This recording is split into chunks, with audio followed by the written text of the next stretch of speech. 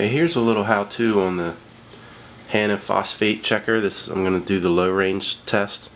And I'm doing this just because every once in a while I see people have problems with um, either the test timing out before they're done or getting readings that are um, a little bit all over the place. Uh, this is just how I do it.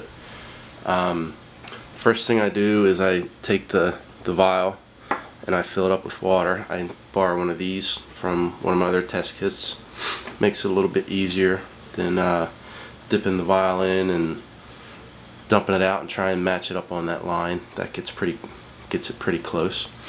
Um, the next thing I do is I take the take the reagent that goes in before I even start doing the test. Go ahead and cut that top off, and then I'll make a make a little funnel on the side.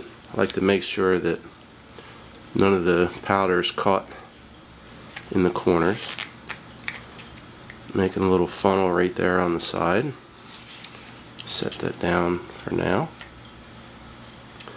And first thing for the meter, do one click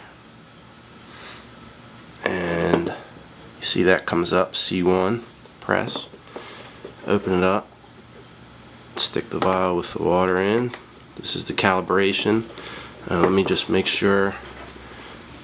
You don't want to have any fingerprints or anything on there. You want to try and eliminate um, air bubbles anything like that in there that could affect the the test.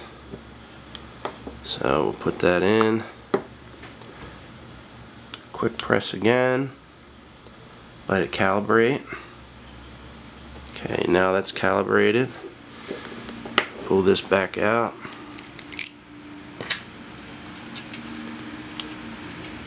Add all the powder.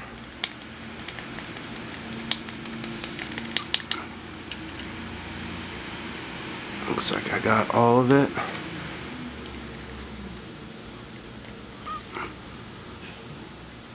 Spill a little bit on the table. It's alright figures. Trash comes as soon as I'm doing this. Makes the dog go crazy.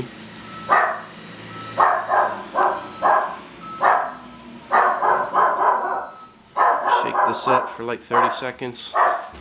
You have, um, I believe it's a minute and a half before the test times out. You want to get most of that dissolved in there. Get the fingerprints off again. Try and get air bubbles off the side if you can. Push that back in. And now you press and hold until the clock starts. Then you have three minutes. I won't bore you with the full three minutes. So I'll edit this part out and cut back in in a few seconds.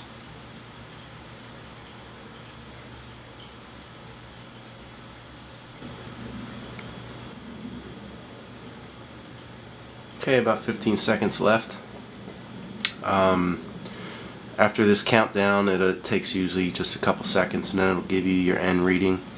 Um, I like to not move the, the unit at all, either when it's um, calibrating or when it's taking the final meter because it uses light.